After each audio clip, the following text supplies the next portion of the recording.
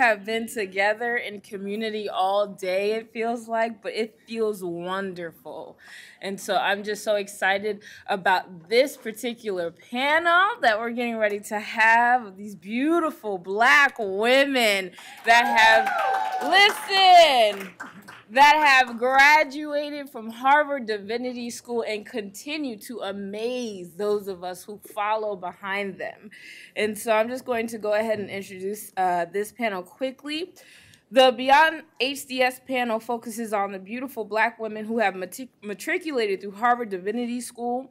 Each of them have cultivated and nourished a community for black students here at HDS that continue to follow them. We honor them in their work that they have also contributed to the Black Religion, Spirituality, and Culture Conference.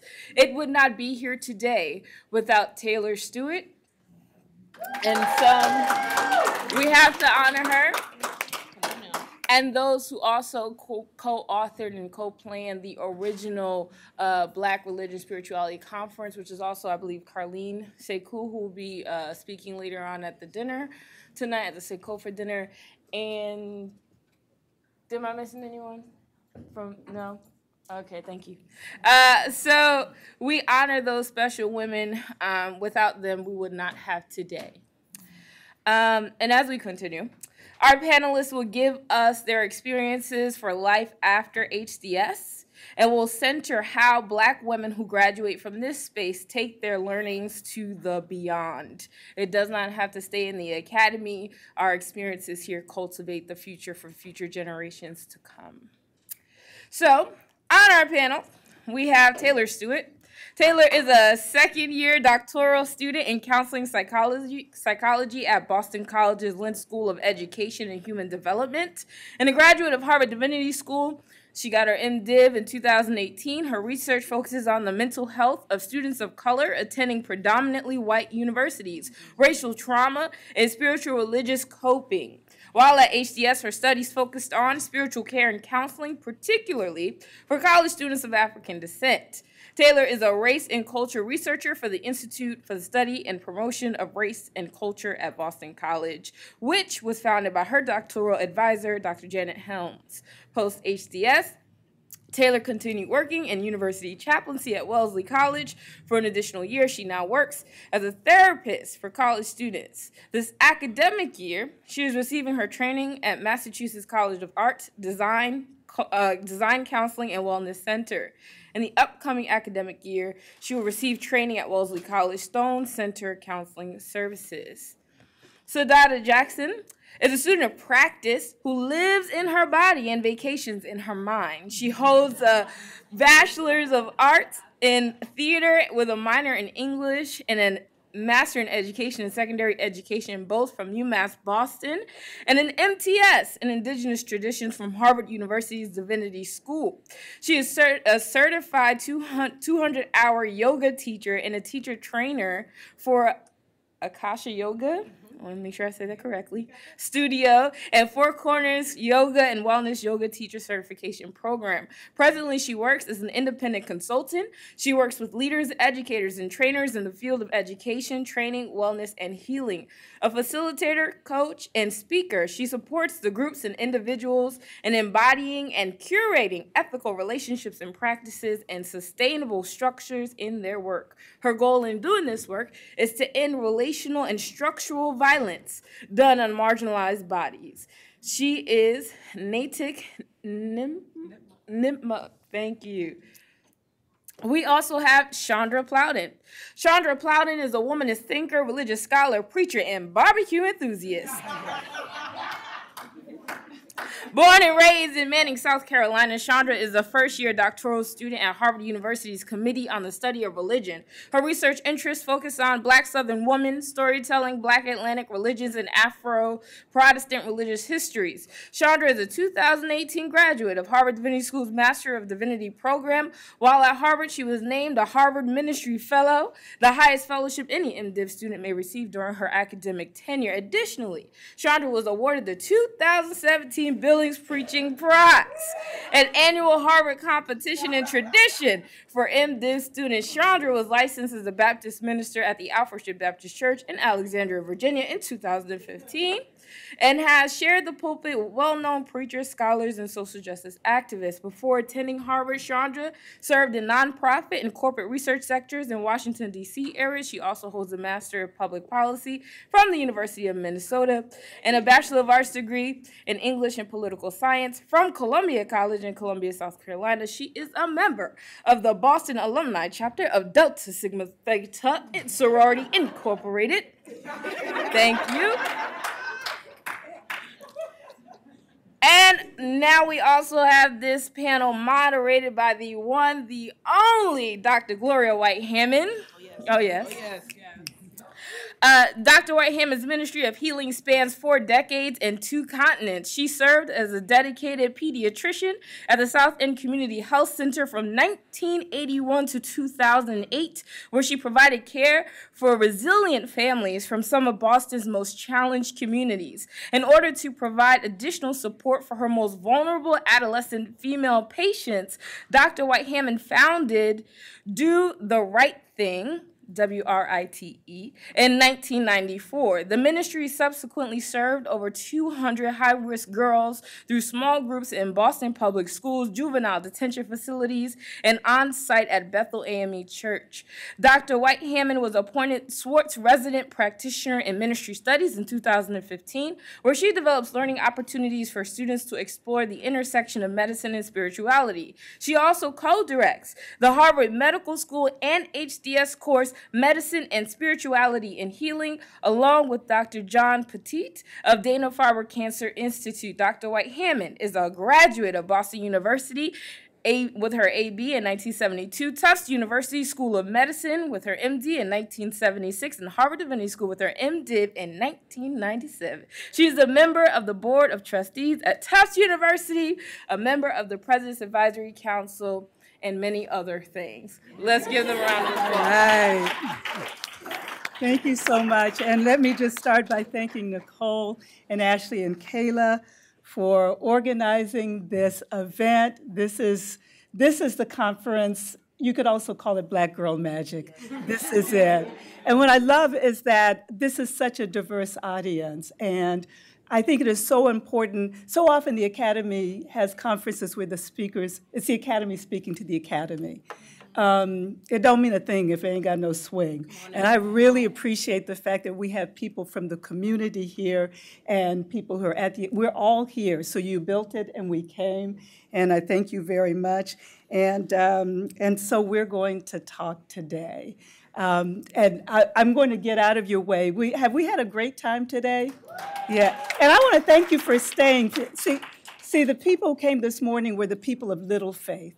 You're the ones who said, I'm going to come and I'm going to stay until I get everything I need out of this experience. So Hallelujah. Thank you for your presence. We're going to begin now uh, by having Sadada come and do a presentation. Each, as you know, the format is each of our presenters will give a 10 to 12 minute presentation. Then we'll have a little discussion among us.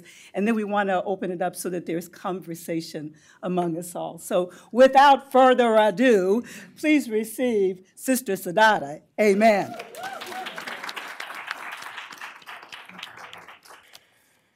So, uh, Kwata Kwakwa Wani, Wani no Kishkawatuan Kanipiam and Tabatni. Um, good afternoon. It's really, really, really good to be here with all of you. Um, welcome and thank you. Um, I know that we've already done a land acknowledgement this morning, but I really try to be a person of practice, or at least return to my practice. Uh, it tells you a little bit about kind of where I am and who I am, you know, and and that's kind of a cornerstone of my work, is that my work teaches me and, and that I teach in my work. So I want to acknowledge this land, um, this space, this relationship, um, our mother, uh, to whom I am kin, um, the land of the Massachusetts. I am a part of the sister tribe of theirs, their landed kin as a native Nipmuc.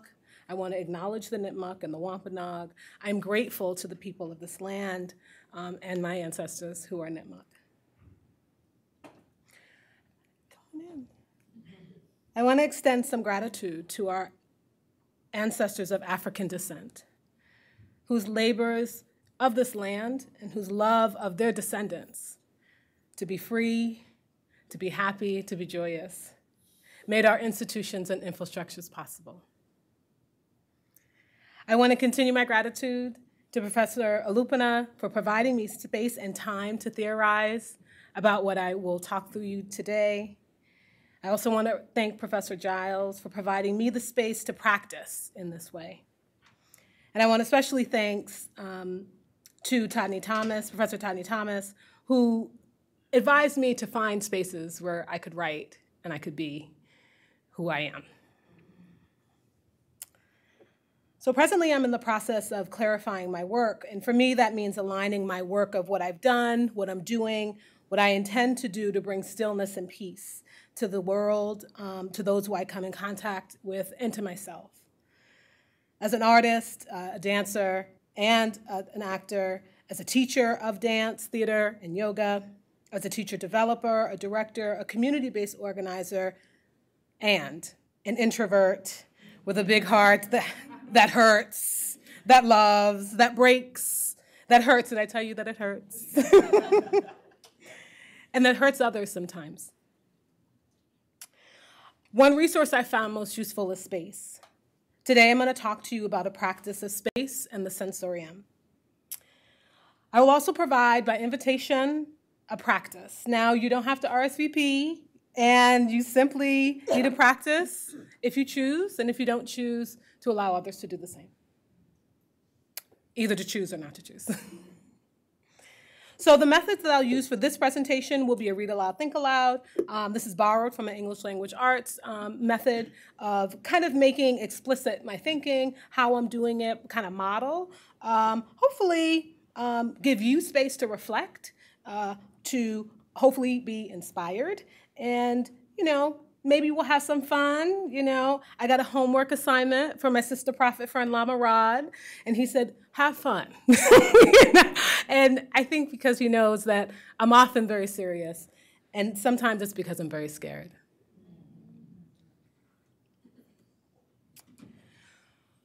So the theories. Uh, the one on the left, the sensorium, it says sensoria, but um, that's um, I want to talk about sensorium. Um, so that's the theory in which I'll talk about. This is the theory that Kathryn Linn Geurts um, speaks about in her book, Culture and Senses, The Bodily Ways of Knowing in African Communities. This is a book that I used um, as a cornerstone in my independent study with Professor Olupona, um, that on an independent study that I called African Indigenous Religions in the Body. Although her work is specific to the Anlo Ewe people, I have this experience of bodily way of knowing as a dancer, uh, as an educator of dance, of theater, and of yoga, and even as a teacher developer and as a program director. Geurts argues, quote, that culture's sensory order or sensorium is one of the first and most basic elements of making ourselves human. She defines sensorium um, sensory order as, quote, a pattern of relative importance and differential elaborations of various senses through which children learn to perceive and experience the world in which they develop their abilities. As a person who lives in her body and just vacations in her mind, I found this to be true about me as an adult. And I, and I work to provide this embodied experience for those who I work with so that they can continue to experience the world and develop their abilities. Because aren't we all growing? So Geurts's works led me to do some of my own theorizing about this notion of making space. And as an artist, teacher, educator, student of practice, um, and I'm also thinking about how to use this theory in practice to begin what we have been kind of reflecting about today, a praxis. Um, this praxis is what I use to create spaces of learning and healing in my work. Um, and it's something I'm both privately trying to clarify and now publicly working with you to do that too. And so um, I'll talk about now the theorizing piece, which is space. So space oftentimes seems like amorphic, it's like this thing, but I want to do some naming. That space is a physical thing, and space, space can be defined as distance between two objects. Uh, for me, that kind of distance can be an insecure place because I, I'm not always feeling a connection either to the other beings or bodies or to what I'm thinking or what's going on in the space. And um, I can better understand what Thich Nhat Hanh then refers to when I can be in this kind of physical space. When I ask myself, what Thich Nhat Hanh says, what is the nature of this distance? And when I can understand that, sometimes um, something shifts and I start to learn something different. It's new, it's unplanned. I call it the unplanned lesson. There's also emotional space, which is distance between emotional states. Um, that can be difficult to see because emotions are internal, um, at least in their origin. Um, and to, I've been working with this idea of creating emotional distance between states. Takes a lot of practice, or at least it does for me. and it could be, and I think that when we engage what Geurts says about sensorium and how it's the most basic element of our human cells, there might be some ways in which we can use other materials to create an emotional space. Finally, I want to say that I'm thinking about the relational aspects of space. I talk about physical space between objects, but also the physical space in between my body and other bodies, um, and that it's also as much as it's about distance as it is about embodiment. And as an educator, I'm always learning from these relationships. Um, the relationships I have with my work, the relationships that I have um, with those who I work with, and then the relationship I have with practice. And speaking about practice, I want to invite you to practice with me. And so I've, um, for those of us who are just, you know, um, would rather have kind of more of a frame than these kind of theories and these kind of lofty ideas. Um, what I've done here is I've given you kind of the why and the how. And um, in Buddhist philosophy, which is another deep influence of that in, um, influence of my work, it's called the causes and conditions. So why do why should we have these kind of sensorium spaciousness? Um, that it creates space for learning, learning that can be new, different, and deeper. Um, it also creates space for healing. The, when I mean healing, I mean repair, reconciliation, recovering, and I'll add restoring. And then how do we do it? Well, we can do it by providing resources. These can be human resources, material resources, the actual physical space, currency, and so on. Also, that it's based in research, both something that is studied conceptually, but also something that is studied through the practice, by practice being studied. And then finally, it needs to be revised. And by revised, I mean that um, it, you, that I mean taking what you've learned in an experience of space and bringing that back into space. And the constantly doing that again and again is what I call practice. So let's practice. So I, um, I have here a song, and what I invite you to do is just listen to the song and listen to what comes up for you as you listen to the song. You know, you can listen to the words or whatever. I also invite you to do whatever you feel comfortable to get through this practice, whether it means move, like whatever that means, but just be mindful that people are practicing in different ways. Okay? So relax in whatever way that means. Thank you. And maybe you can take a minute and just reflect on these two questions for yourself. Particularly, what did you notice came up in your mind, in your other senses?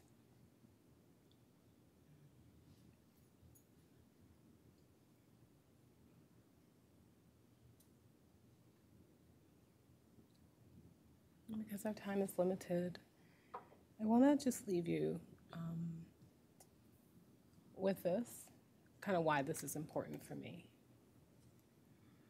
As a black woman, a black native woman, um, in the context of healing and education, I think this is important so we can be our full selves.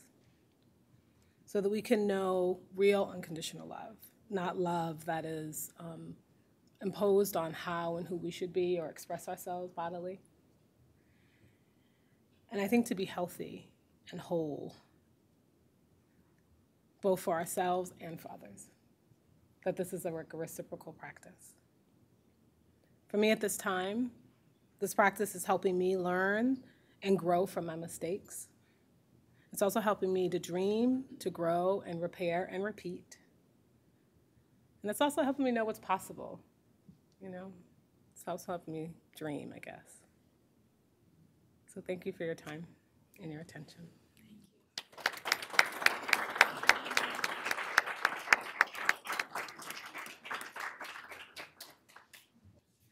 Good afternoon, everyone. Can everyone hear me?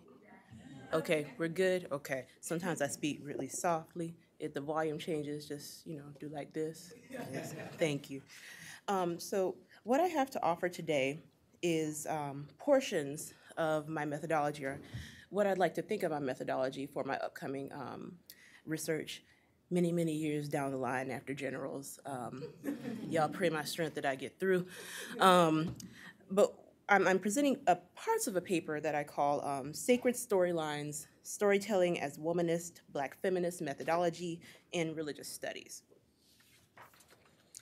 I'd like to start with two quotes. One from Katie Cannon.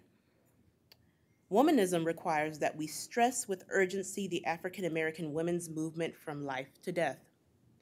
We investigate contestable issues according to the official records, which seldom offer any indication why things have gone wrong, nor why benefactors of oppression strive to maintain certain principles, values, and taboos as the center of social reality. In other words, womanist religious scholars insist that individuals look back at race, sex, and class constructions before it is too late and put forth critical analysis in such a way that the errors of the past will not repeat. I offer one more quote from Linda Thomas, another womanist thinker, another womanist scholar. Admittedly, reconstructing knowledge is like tearing down a formidable edifice that has been built over an extensive number of years. A womanist in her reconstruction of knowledge must not only be a diligent craft person, she must also develop an approach that utilizes the kind of technology that can dismantle the seemingly indestructible original building materials. So in these two, um, two quotes, uh, womanist theologian Katie Cannon offers a clear directive that, one, that the study of womanism is to observe the daily lives of black women for critical analysis and in the womanist analysis to privilege intersections of race, sex, and class, class constructions. Thomas furthers Cannon's char- charge by advocating the use of technology that privileges Black women's voices and also critiques mainstream thought. Indeed, womanist work includes making new paths with apt tools that recover that which has been obscured by Western narratives. This paper promotes the storytelling or the practice of storytelling as a useful technology in Black feminist, womanist, ethnohistoric analysis of Black women's religious lives in the United States. More specifically, my work and my forthcoming work, God willing, um, discusses how storytelling narratives in service to Black liberation includes sermons, newspaper clippings, anecdotes, letters, fables, conversations, gossip as methods of understanding Black women's lives in America. So, in a sense, one could consider storytelling as the original qualitative research method. With public discourse, it helps to inform one's mental framing and reframing processes. Despite intense efforts to fill the void of critical history analysis in Black women's spiritual orientations, much evacuation still not much evacuation, much excavation still remains. As an analytical approach, womanist religious scholars aptly identify with the daily struggles, the daily struggles of black women in literary, in literary and scriptural characters. So, for example, um, one of the literary, um, literary womanist figures um, could include Hagar, the Egyptian slave in the Judeo Christian narrative. Um, and also many of the women protagonists uh, within Toni Morrison's Beloved. So through literary figures, womanist religious scholars can help articulate um, a didactic and twofold purpose. One, to offer a reevaluation of dominant Western thought and ethics, and two, to reconstruct events that the lie that have been obscured. So, storytelling is really described as, um, in my paper, as something that pushes womanist and black feminist literary analysis by continuously framing real life black women's experiences as identifiable with the daily struggles of other black women.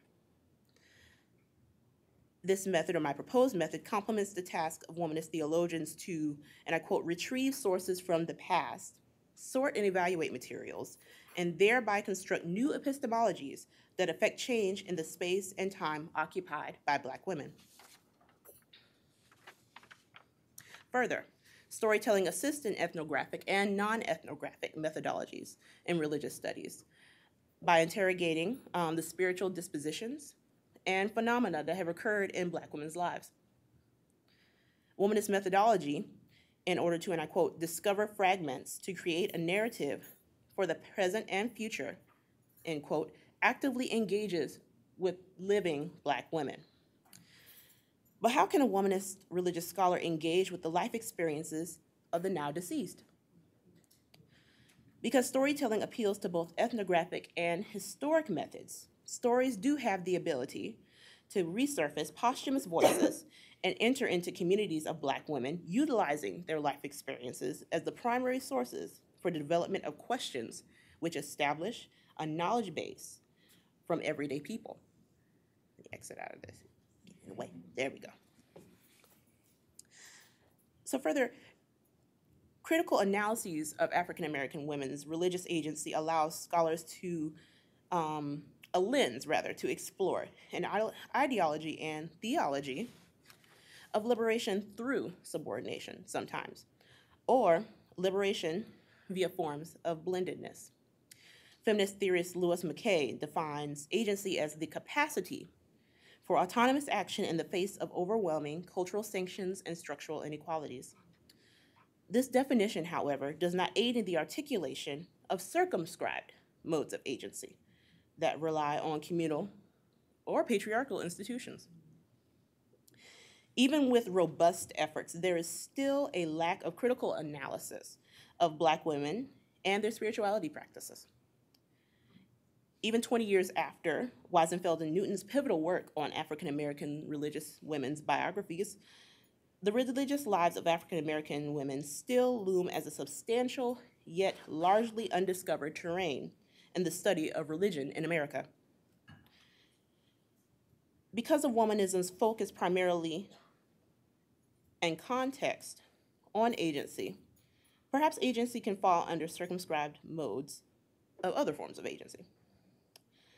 Womanist agency, as defined by Walker, Alice Walker, is courageous, audacious, and willful. Monica Coleman complements Walker's adjectives by defining agency as acts of creative transformation that aid in survival.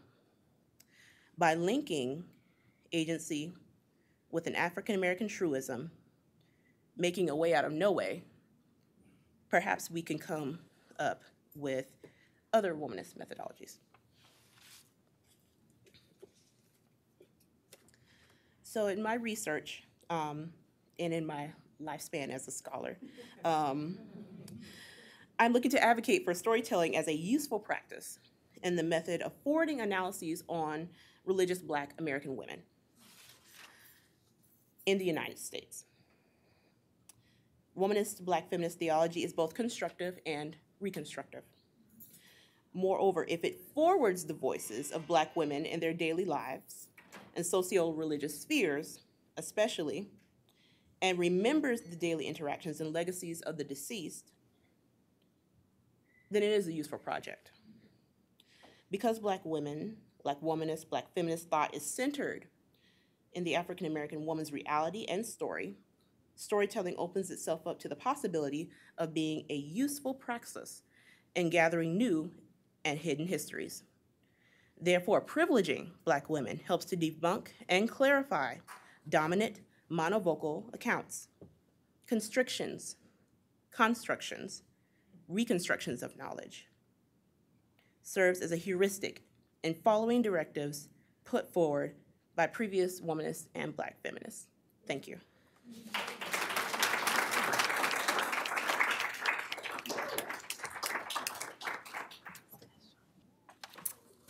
Good afternoon. I'm so excited to be here. It's wonderful to be invited to be on a panel, especially after the work that we um, did while here to try to get this conference started. Um, today, I'm going to really talk about um, what it's been like for me and my studies here at HDS and how I've applied that to the work that I'm doing and the work that I hope to do. Um, so, a little bit about myself. Uh, as was read in the biography, I got my MDiv from here, graduated in 2018, um, and I studied spiritual care and counseling while I was here. And currently, I'm doing my PhD in counseling psychology at Boston College Lynch School of Education and Human Development. And something that I would love for you all to think about throughout my brief presentation is kind of the role that your own religion and spirituality may have played in your own understandings of mental health, um, be that in a positive way, a negative way. Um, so that's something that I would love um, for people to hold and think about. And today I'm going to really talk about how I've used my education that I attained here to further my own understandings and hopefully the field's understanding of connections between spirituality and mental health. And my population of study is black college students, particularly, um, or college students particularly, but my research focuses on students of African descent. So while, HD, while at HDS, I, um, I studied spiritual care and counseling through a non-tradition specific lens. And that was because I knew that I wanted to become a therapist. And what was important for me was to try to understand how to better uh, reach clients in a way that touched the essence of who they are and in a way that also acknowledged their spirituality and religion, which is something that traditional psychotherapy doesn't necessarily reach upon as much, but there's more of a push towards that now, which is wonderful. Um, so I was introduced to the power of spiritual counseling when I was doing, um, when I was working at an AIDS nonprofit, and I was in at one of the support groups, and it was an AIDS nonprofit that was um, for Black people, and it was a men's support group. And the therapists in that group began talking about issues of religion and spirituality. And you saw these tough men begin to cry, break down, talk about how powerful a role it had, be that in a positive way or a negative way. And you could really see the transformative power of bringing this into the counseling arena. And so that's what inspired me to actually come to Divinity School. And while I was here, I had the pleasure of working with Dr. Cheryl Giles, who was mentioned earlier, and she's a clinical psychologist who's a lecturer um, at the Divinity School as well. And so being able to work beneath her was very, very, um, very, very important for me in my own formation of what I hoped to do. So while I was here for my field education, I did chaplaincy um, at Mass General Hospital. So I provided spiritual care for cancer patients there. Um, and I was able to really incorporate things that I was learning uh, in class into practice. How do you meet a client where they are, um, a patient where they are, regardless of their spiritual religious background? So I had clients uh, at Mass General who were all in a particular infusion unit. And this infusion unit was for patients who their their, I hate to say like their last hope was a clinical trial. And so these were the patients that I had the privilege of working with. And I had patients who identified as Catholic, who identified as Muslim, who identified as atheist, agnostic, Wiccan. I had a, a huge um, variety of religious and spiritual beliefs uh, that I got to work with, which was extremely, extremely powerful. Uh, and then in my final year of divinity school, I started working as a chaplain for students of African descent at Wellesley College. And that was such a blessing because they asked me, they said, Taylor, we know what you study. We'd love for you to come back and kind of be there for our students. Uh, and so I got to really sit with them as they were navigating what it means to not only be a student, but what it means to be a black student on a predominantly white campus and the kind of pain that can come with that and the role that religion and spirituality can play in our lives. Um, so it was very amazing to be working with those students, and I worked with them for two years. Um, I worked with them after I left here as well, but I stopped working with them this year just because of other things. Uh, and so my thesis work really focused on a liberation-focused spiritual counseling for college students of African descent attending predominantly white institutions of higher learning. And this was particularly targeted towards spiritual care that's being done across racial and cultural boundaries. So I think that especially for our black students who are attending these predominantly white colleges and universities, a lot of times you don't see a lot of people who look like you within administration, within chaplaincy departments. And so how can we help the chaplains do better at reaching these students? Um, so that was really what that paper focused on.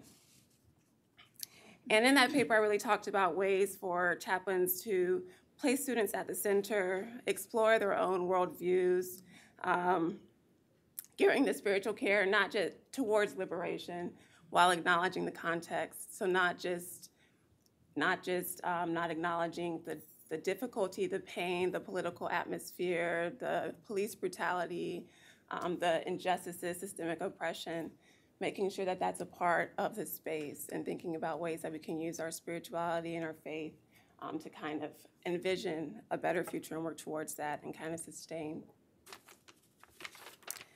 So that was at HDS. Beyond HDS, I went on to do my PhD, which I'm still doing. Uh, and um, my research has dived more deeply into spirituality and religion amongst students and mental health. And so currently, I am working on a study that focuses on spiritual and religious coping um, and the role that it can play in Black students' lives, particularly in response to perceived racism on campus and relating that to their overall psychological well being. And so, within psychology, religion and spirituality are considered to be a protective factor. So, it can serve as some kind of buffer against the development of some kind of psychopathology or mental illness. Uh, and one thing about Black people in this country is that religion and spirituality have been an integral part of our communities. And surveys, na- nationwide surveys, it shows that African people of African descent are the most religious identifying and spiritual identifying people of all racial um, and ethnic groups within America, um, as well as within college students. Black students are identify as the most um, religious and spiritual. They tend to attend any kind of um, religious space more than their white counterparts, followed by Asian American um, and then Latinx students. And um, also, they tend to draw upon their religion and spirituality for sources of strength in order to cope with things that they are going through. So that's what my study is focusing on right now. Um, I put some seminars, discussion, and workshops. I've had an amazing opportunity to kind of um, speak with uh, mental health clinicians through a workshop talking about ways that we can better incorporate spirituality and religion into the work that we're doing with students, particularly if it's coming up as something that's um, contributing to their presenting concern when they're coming into therapy. And, I, and something that I think is really important to think about in this work is that oftentimes within psycho- psychology and psychotherapy, religion and spiritual belief are pathologized. And so they are looked at as something that is either dismissed or seen as not as important um, or pivotal within someone's mental health functioning. And the data shows us that that just is not the case. It actually is playing a significant role. And so some of the things that I um, have am learning about myself and also speaking with other clinicians about is how can we better incorporate um, spirituality and religion into our conceptualization of our clients. And so part of that is including religion and religious and spiritual identity on the intake uh, when you're working with clients. So often when you go into a mental health counseling session, you have this huge intake. They ask you about all these things, but they don't ask you about your religion and spirituality. Yeah. And so that's something that the current mental health counseling center I'm working with has incorporated into um, their intake this year after our discussions, which is pretty amazing because um, it comes up a lot within our sessions, but uh, clinicians may not know exactly how to address those needs. Some things that um, are important when working with, with clients and even within your own community um, is thinking about, or yourselves, thinking about how your own religious or spiritual values and beliefs may be contributing to what you may be experiencing currently, mental health wise, well being wise. Um, and also, if you do access mental health care, how a clinician can better incorporate your own understanding of yourself, um, of the spiritual, of the religious into your treatment, if that's something that's very important for you. And then also another thing that I think about a lot in my work that I'm doing with my clients now and in the work that I hope to continue to do is broadening understandings of what spirituality is. And so, um, what that can look like is a lot of times, sometimes think spirituality and religion is just one box. But spiritual nourishment can come in so many different fashions. And so, that can be through, as you showed, that beautiful music that you played, and um, can be through music, can be through community. There's many different ways that people find spiritual nourishment. It's important to think about that and not just clump religion and spirituality into a box. And also being aware, for me, um, I do view the therapy work that I do as a spiritual practice.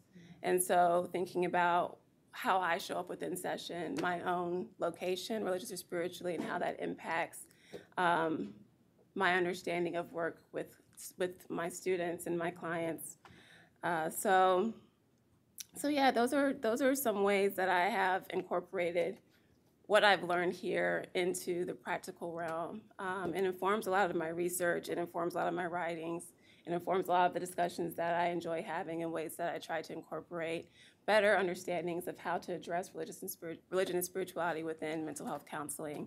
And I have a couple of things that I'm writing right now that I hope will be published. We shall see. That really encapsulates some of those points um, that I've tried to touch upon briefly here. I didn't want to read anything because sometimes I feel like that language is very much so academic and jargony. Um, but yeah, so that's really the beyond for me. Thank you. Wow, thank you so much for ways that you're thinking the work that you're doing. It's really groundbreaking and, uh, and even in its um, early stages it's making a big difference.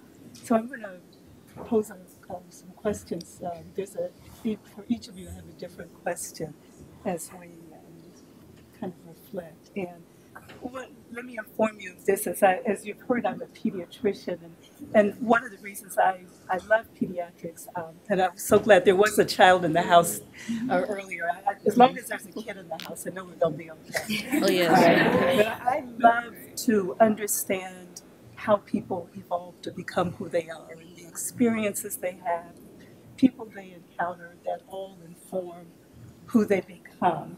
And so I'm, some of my questions will will be in that context. Um, and so I want to begin um, with a question for you, um, Taylor.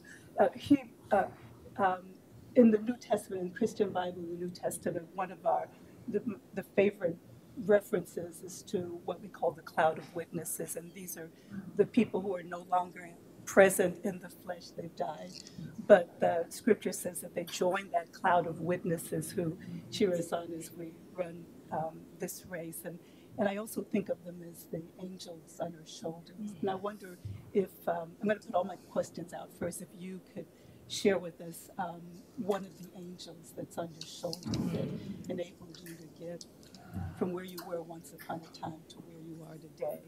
And then I have a question for you, Chandra, and this is, you mentioned Toni Morrison, and, and I, I wonder if you could reflect on a comment that Toni Morrison um, made. And as I, as I, before I share this comment, I, I do want to have a, a, just a little bit of disclaimer. The, the church woman in me has a little bit of disclaimer in terms of the vocabulary.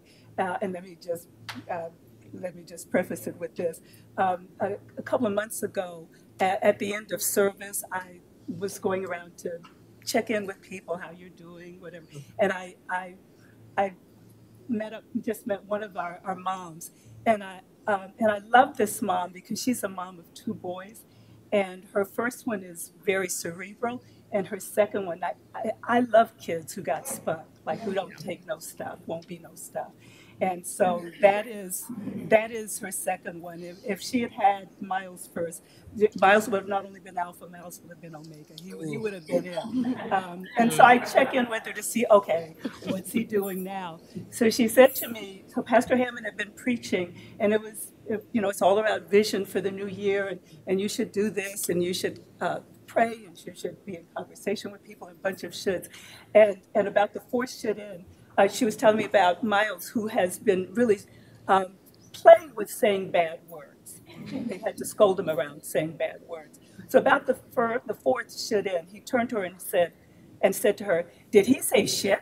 Not enough for other people to hear. No, Pastor Hammond did not say that word. So here's the, the comment that Toni Morrison had. You want to fly, you got to give up the shit that weighs you down. And I wonder what shit has weighed you down that you had to give up. and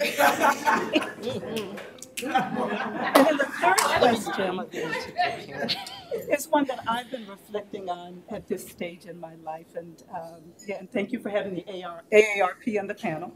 Um, that this is a, a reflection um, from Soren Kierkegaard, who, who we know is a, a noted theologian and philosopher. And it's a it, the, it, these are not the exact words, but this is essentially the reflection. The reminder that while we live life going forward, we understand life looking backward. And I wonder if you could share with us an experience that when you were there, it, as as my as Ray's mother would have said, this don't make no kind of sense. Mm-hmm. It was an experience that felt like it did not make no kind of sense whatsoever. Mm-hmm. But having lived a couple of minutes longer, oh, I get it. Mm-hmm. I understand what that was about. Mm-hmm. So those are our three questions, and um, and each of you could respond. You may have some responses in your own head too, but um, do you want to start first, Taylor? Sure.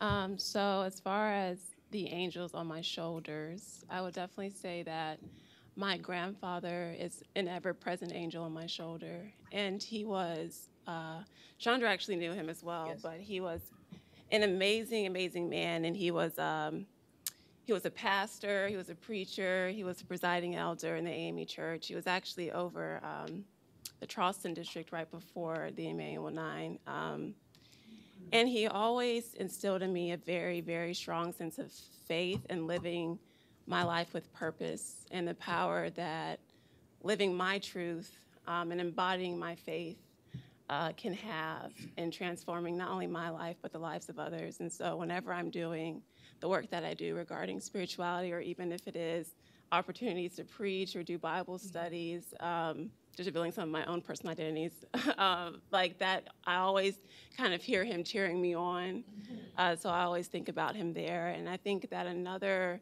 another angel, and she's she's not deceased, but she is definitely someone I think about often, is uh, my very first supervisor when I was doing chaplaincy mm-hmm. work. She was an amazing woman uh, who identified, a white woman who identified as um, a humanist, uh, was not really, she wasn't really into like dictating anyone's life by any particular set of doctrine.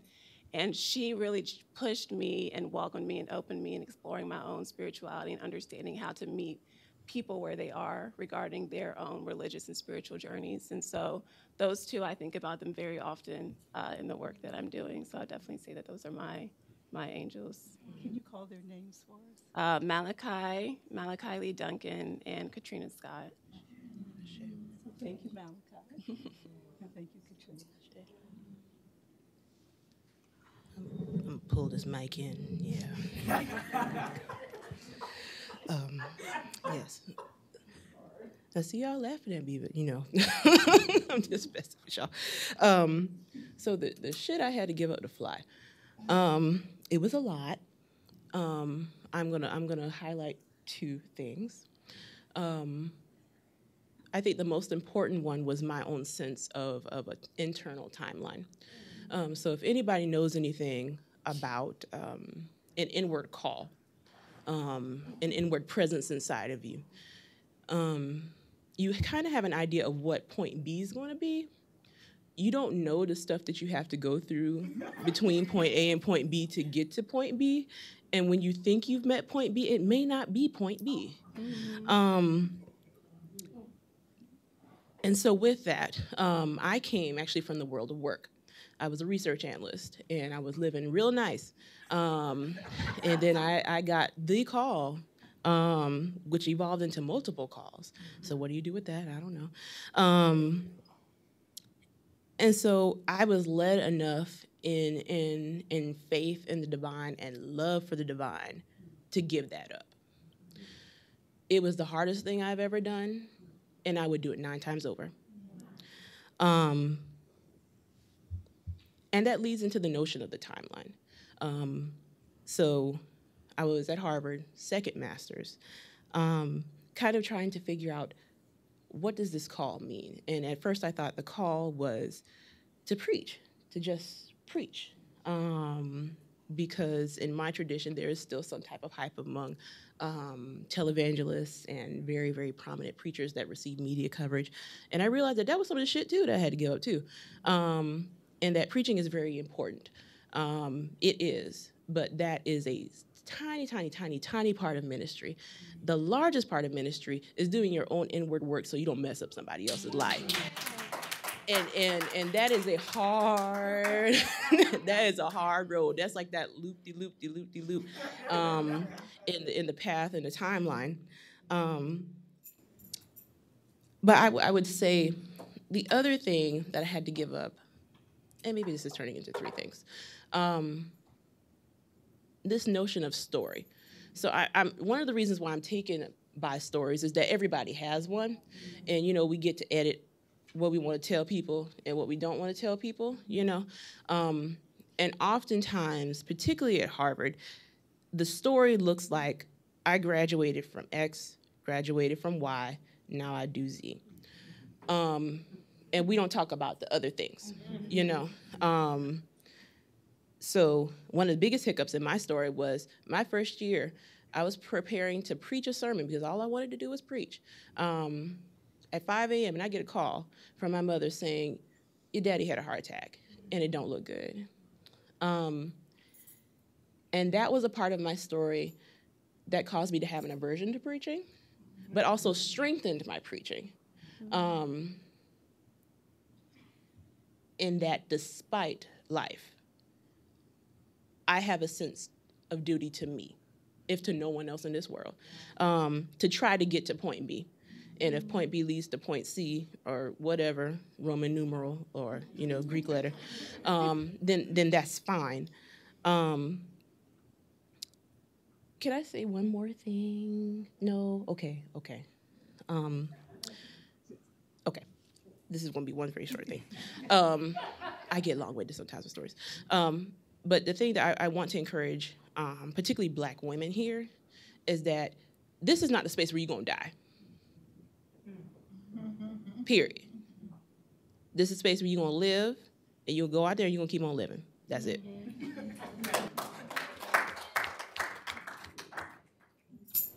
Thank you both. Yeah, so thinking about something that didn't make sense, when I look back at it now, like I get it. Uh, well, there's a lot. so, but I'm gonna pick this one thing, um, which was my first time I applied to HDS and didn't get in. It was 2009-ish, and I say ish because I'd have to look back at like my resume and see. Um, but at the time, um, I was in my early 30s, and um, I'd been teaching for a while, and I left teaching to do some program directing and really wanted to pursue a master's degree that was at the intersection of it then um, Native American uh, traditions and um, dance.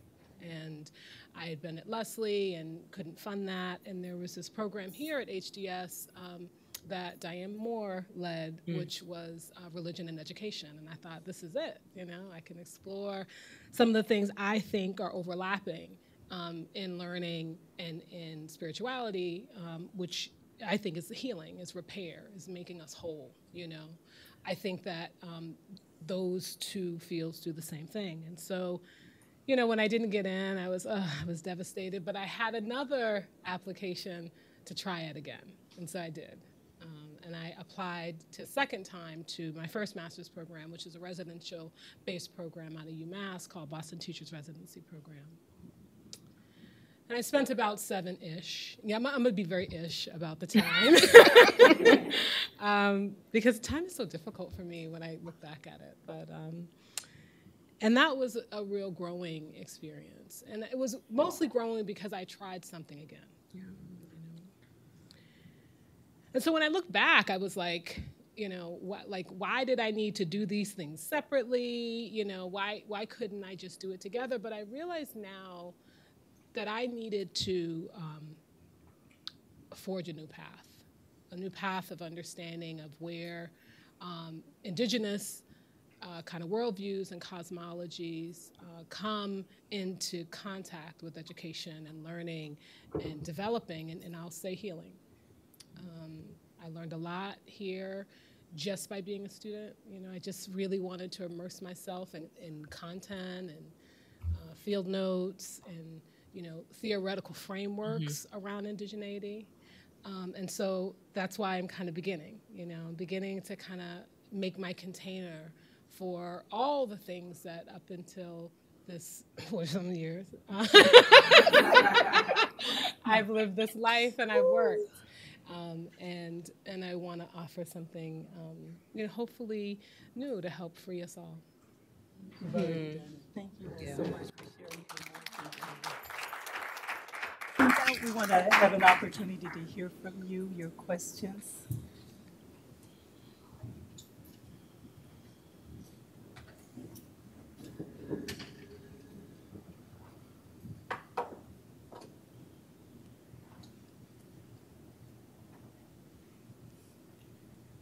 We can say the benediction and go home. That is okay too.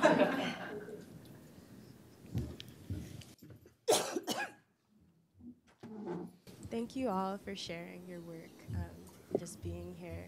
Um, what was something, what was a key moment at HDS that like made you sure that this was the place that you were supposed to be at the time that you were supposed to be here? Hmm.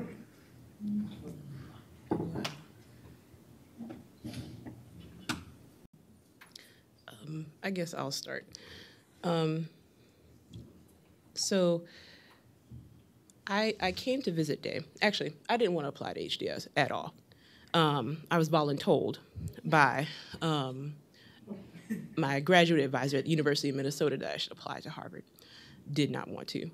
Um, but I did because I knew I needed his recommendation letter. So let me just pay my $75 and get my recommendation letter.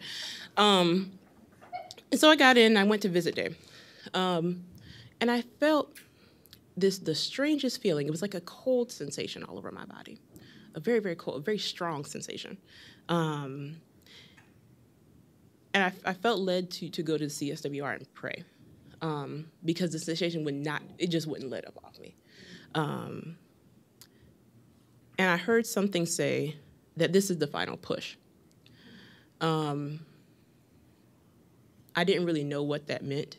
I have some ideas of what that meant, um, but it was definitely an inward calling. Um, and that was continuously affirmed, not necessarily through classes, but by the amazing friends um, I've made here. Some of the best friends I've ever had and probably will ever have.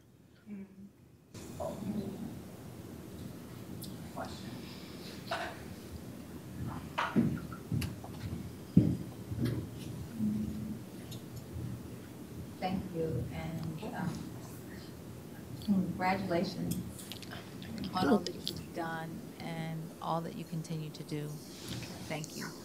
My question is, um, I'm currently in school and we're studying cultural capital and whose culture has capital. Mm-hmm. Um, so having uh, you African American women um, here at Harvard that contrast of cultures, whose culture has capital and how have you used the culture of Harvard to increase the capital?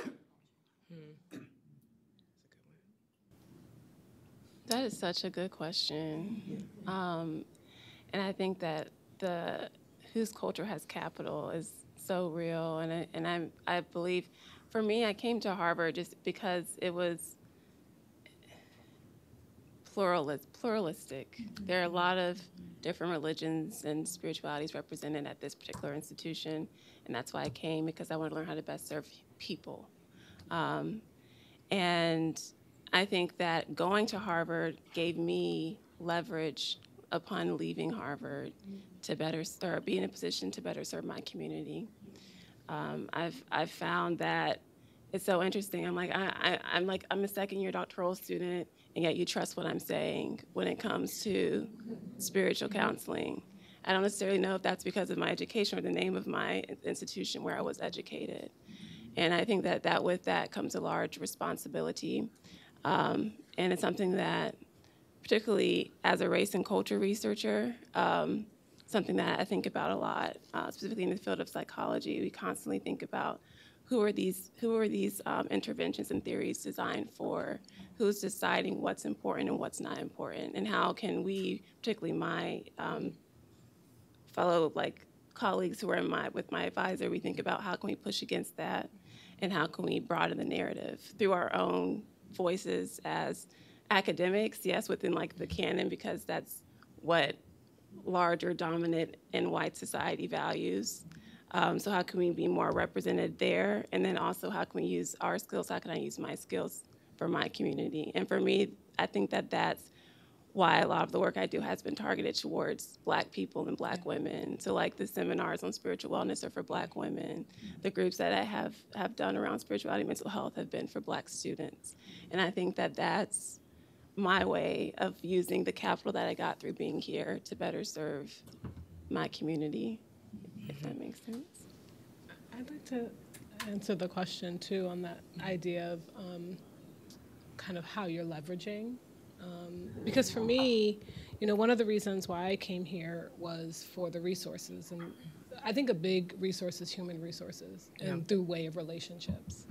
Now, I, you know, I don't know that I'm always good at it, and I, it is a place where I learn, and I think it's a place where all of us learn. Yeah. And um, I think that it's really important to see that as a currency. You know, that the building of that relationship, um, the kind of networking of those relationships are a currency. They're really valuable. And I know for me, um, that has been, I think, the biggest thing that I've kind of gotten out of, of being here is the relationships that I have with people um, and what it's taught me, not just about me, but the work that I'm embarking on. So, one of the things that um, is actually an implicit motive in my research um, is the push for reparations. Mm-hmm. So, one of the reasons why storytelling is important is because some people just do not care about facts. Some of them just don't, particularly given in this administration. Um, and that sometimes stories are what compel people to get up and do right.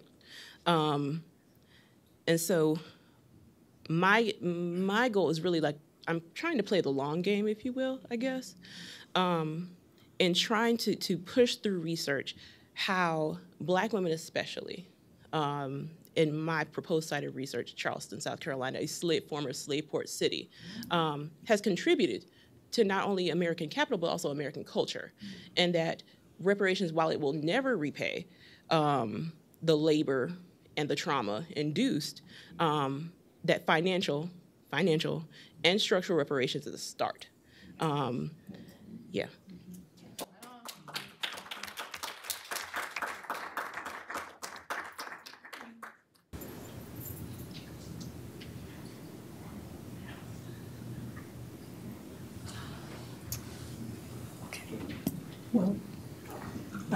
Thank you so much again for coming, and, and thank you again, Nicole, and, and Ashley and Kayla for making this happen. I'm going to close with um, another um, another comment, and you referenced Katie Cannon, and if you don't know, Katie Cannon is, and she's just in a class of her own category yes. of her own. One of the she and she we lost Katie was it last year or 2018? Oh, I think the 2018. I think was when uh, was when she she passed, and again, just a, a, a, a giant in terms of her um, her person and her practice, and uh, and and so I'm going to close with this comment as an, a word of appreciation to you, to each of you, and, and a little bit of a of an encouragement and, and an affirmation of what you said, um, Taylor. So, um, Dr. Cannon said, an educated person, you share the knowledge and you empower people with your with your knowledge, and that's what what has happened in terms of your experience here, that you, you have shared um, your knowledge and your wisdom and, um, and empowered people. On the other hand, and Aisha referred to this, an educated fool has a little learning and they beat people up. Yes, they And thank you so much for coming here, for the knowledge you gleaned, for the wisdom that you developed, and for making it available to all of us. And because of your generosity, we all leave this place a lot more empowered. So thank you so much.